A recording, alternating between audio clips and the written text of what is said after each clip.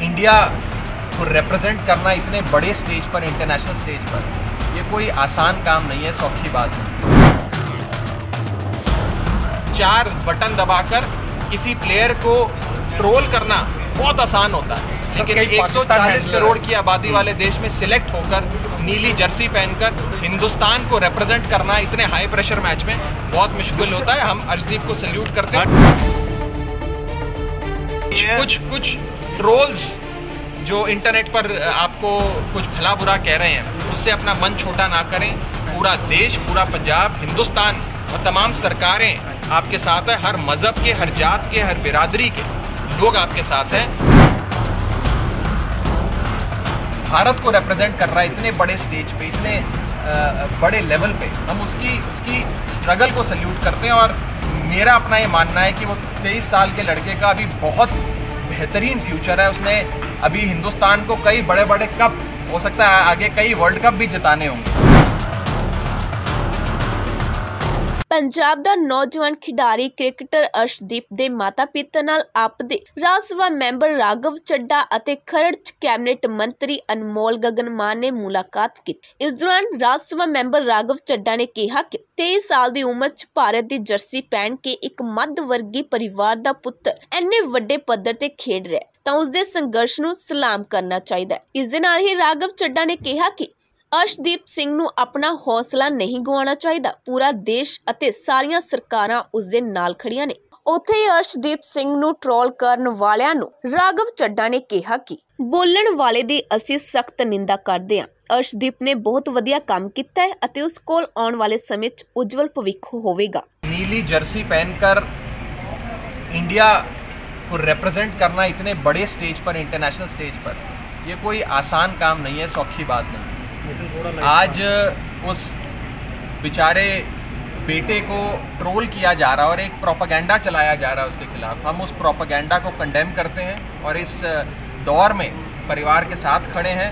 परिवार की जो स्ट्रगल रही है और अर्शदीप की जो पर्सनल स्ट्रगल रही है, उसे सल्यूट करते हैं एक साधारण से मध्यम वर्गीय परिवार से मिडिल क्लास हाउस होल्ड से आने वाला एक बच्चा। आज महज तेईस साल की उम्र में भारत को रिप्रेजेंट कर रहा है इतने बड़े स्टेज पे, इतने बड़े लेवल पे। हम उसकी उसकी स्ट्रगल को सल्यूट करते हैं और मेरा अपना ये मानना है कि वो तेईस साल के लड़के का अभी बहुत बेहतरीन फ्यूचर है। उसने अभी हिंदुस्तान को कई बड़े बड़े कप हो सकता है आगे कई वर्ल्ड कप भी जिताने होंगे।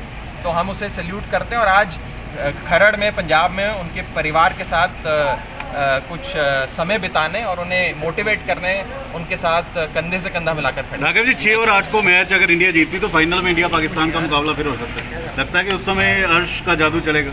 देखिए आप अर्श के जादू का एस्टिमेट आप इसी बात से लगा सकते हैं कि जब भी क्रिकेट का मैच होता है और वो आखिरी ओवर तक जाता है टीम का जो कप्तान होता है वो अपने सबसे बेहतरीन बॉलर को आखिरी ओवर देता है डालने के लिए।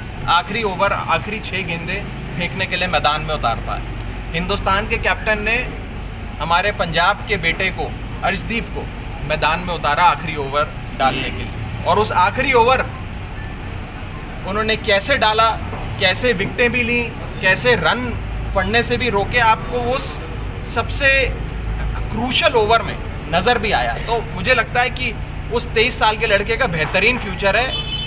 ये आज जो ट्रोल्स उन्हें अटैक कर रहे हैं, मैं बस उन्हें इतना ही कहना चाहता हूँ कि इंटरनेट पर बैठ कर चार बटन दबाकर किसी प्लेयर को ट्रोल करना बहुत आसान होता है। लेकिन 140 करोड़ की आबादी वाले देश में सिलेक्ट होकर नीली जर्सी पहनकर हिंदुस्तान को रिप्रेजेंट करना इतने हाई प्रेशर मैच में बहुत मुश्किल होता है। हम अर्शदीप को सल्यूट करते हैं कहना चाहेंगे? अर्श को कुछ कहना चाहेंगे? बस देख रहे उसको यही कहना चाहेंगे कि स्टे स्ट्रांग और पूरा देश आपके साथ है। सर, ये सामने कुछ कुछ कुछ ट्रोल्स जो इंटरनेट पर आपको कुछ भला बुरा कह रहे हैं उससे अपना मन छोटा ना करें। पूरा देश पूरा पंजाब हिंदुस्तान और तमाम सरकारें आपके साथ है हर मज़हब के हर जात के हर बिरादरी के। लोग आपके साथ हैं ऑल द बेस्ट ये बात एवन मीडिया चंडीगढ़ तो जतेंद्र पाल कलेर की खास रिपोर्ट।